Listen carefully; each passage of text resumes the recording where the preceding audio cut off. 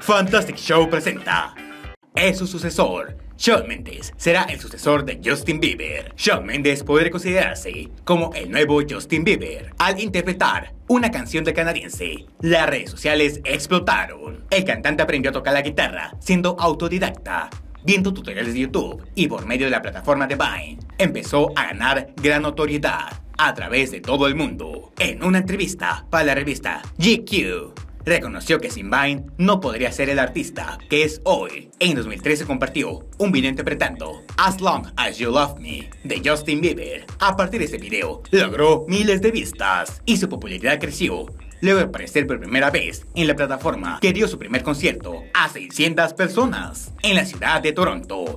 Desde ese entonces y todavía se considera el sucesor de Justin Bieber. Shawn Mendes nació el 8 de agosto de 1998 en Toronto, Canadá. Su padre es un empresario portugués y su madre es inglesa y agente. Shawn Mendes confesó que aprovechó la oportunidad para mostrar sus habilidades artísticas, compartiendo videos en Vine. Su constante presencia en las redes sociales le permitió tener una fuerte relación con sus seguidores. Para el año 2014, Shawn Mendes firmó un contrato con Island Records, cuando llamó la atención del representante Andrew Gurtley. El representante se encontraba buscando un nuevo talento para una versión de Say Something. Cuando entró a redes sociales, descubrió al joven canadiense en su canal que tenía miles de vistas en la canción A Great Big World. Varios sellos, entre ellos RCA, Atlantic, Republic y Warner, ya buscaban a Mendes, pero la joven promesa decidió firmar con Iceland previo al contrato. Shawn Mendes inició una gira como invitado de Mac.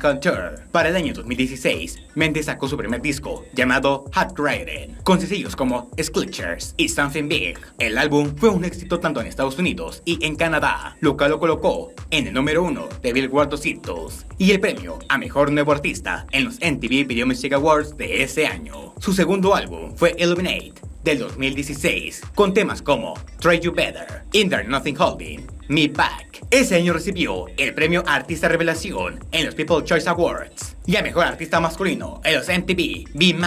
El último y más reciente de sus proyectos ha sido su tercer disco de estudio homónimo, Shawn Mendes, en 2018. En este se ve una gran mezcla de estilos, al que el canadiense se adapta perfectamente. El primer sencillo fue In My Blood, que fue nominado a los premios Grammy a Mejor Canción de Año. Shawn Mendes se ha convertido en el cantante más joven, con sus tres trabajos en el número uno de calificaciones. Por esta y más razones, se cree que Shawn Mendes el sucesor del canadiense Justin Bieber. ¿Pero tú qué opinas acerca de esto? Déjame saberlo en la sección de comentarios. Yo soy Carto y nos vemos hasta la próxima.